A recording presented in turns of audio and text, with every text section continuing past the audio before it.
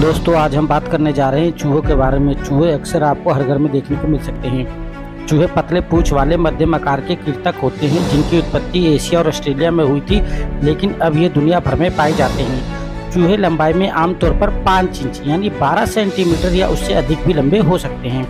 वैज्ञानिकों के अनुसार अब तक चूहों की कुल 60 से अधिक प्रजातियाँ खोजी जा चुकी हैं। क्या आप जानते हैं चूहे की सबसे विशाल आकार में सबसे बड़ी प्रजाति का नाम भूसावी ऊनी चूहा है, जिसे सन 2009 में पपुआ न्यू गिनी के वर्षावन में खोजा गया था। इस प्रजाति के चूहे का आकार एक बिल्ली के आकार के बराबर होता है। विश्व में पाए जाने वाले सबसे छोटे चूहे को वियतनामी चूहा कहते हैं। क्या आप जानते हैं, अगर चूहे को सिंपल और ड्रग्स वाला पानी पिलाया जाए तो वह हमेशा ड्रग्स वाला पानी पीना पसंद करेगा। चूहे की याद रखने की क्षमता बहुत ही अधिक तेज होती है। यही कारण है कि अगर आप चूहे को एक पारदर्शी पिंजरे में पकड़ करके घर से दूर छोड़ आते हैं तो ये रस्तों को याद कर लेते हैं और घर जल्दी ही वापसी कर लेते हैं। क्या आप जानते हैं, चूहे उन जीवों में से एक है जिसे अंतरिक्ष में जाने का मौका मिला है? चूहे को सन उन्नीस सौ इकसठ में फ्रांस के द्वारा अंतरिक्ष में भेजा गया था।